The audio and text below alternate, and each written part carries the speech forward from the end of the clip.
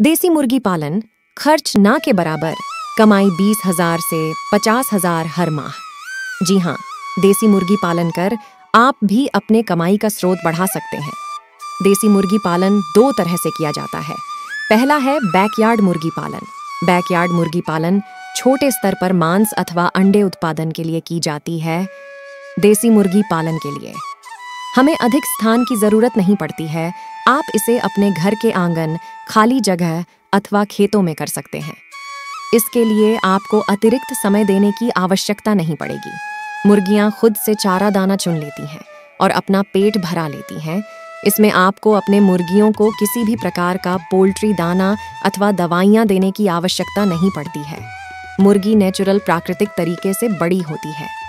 आप खाने में घर का बचा हुआ खाना, रोटी, चावल, मकई, दर्रा इत्यादि चीज़ें खिला सकते हैं और मुर्गी तैयार कर सकते हैं। बैकयार्ड देसी मुर्गी पालन शुरू कम से कम 20 मुर्गियों से और अधिक से अधिक 50 मुर्गियों से शुरू कर सकते हैं। इससे ज़्यादा मुर्गियाँ यदि आपको पालनी हो तो फार्म बनाकर मुर्गियाँ को रखना होगा। दूसरा तरीका है, सेड, बनाकर मुर्गियों का पालन करना। सौ मुर्गियों या 500 देसी मुर्गियों या आपकी इच्छा के अनुसार जितनी मुर्गियों का पालन करना चाहते हैं, आप सेड बनाकर देसी मुर्गियों का पालन कर सकते हैं।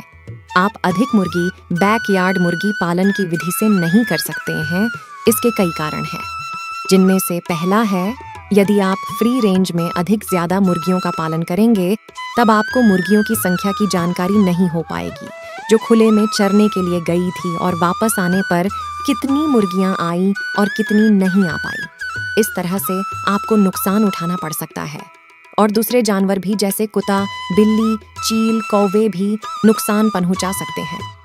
दूसरा बड़ी संख्या में मुर्गियाँ होने के कारण उनमें बीमारी होने की अधिक संभावना होती है ऐसे में उन्हें विशेष तौर पर देख रेख खान पान और समय पर दवाइयाँ देने की आवश्यकता पड़ती है, जिससे मुर्गियों की विकास दर में कोई भी गिरावट ना आ सके और समय पर मुर्गियाँ तैयार हो सकें अथवा अंडे में कोई कमी ना हो सके। इसलिए मुर्गियों को सेड बनाकर रखना पड़ता है।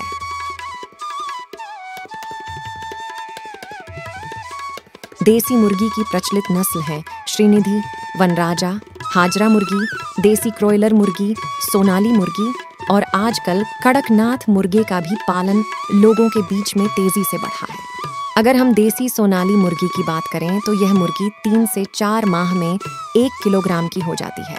सोनाली मुर्गी मीट एवं अंडा उत्पादन के लिए सबसे उपयुक्त मुर्गी मानी जाती है।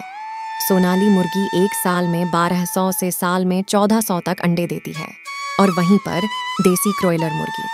यह मीट उत्पादन के लिए सबसे उपयुक्त है। क्रोयलर मुर्गी तीन से चार माह में दो से तीन केजी की हो जाती है और अंडे देना छह माह के बाद शुरू करती है, जो कि 800 से हज़ार अंडे साल भर में देती है।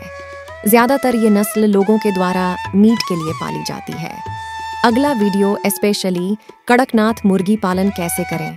कड़कनाथ मुर्गी पालने के क्या फ़ायदे हैं? और इसका मार्केट वैल्यू क्यों इतना ज़्यादा है? क्यों ये लोगों के बीच में आकर्षण का केंद्र बना हुआ है?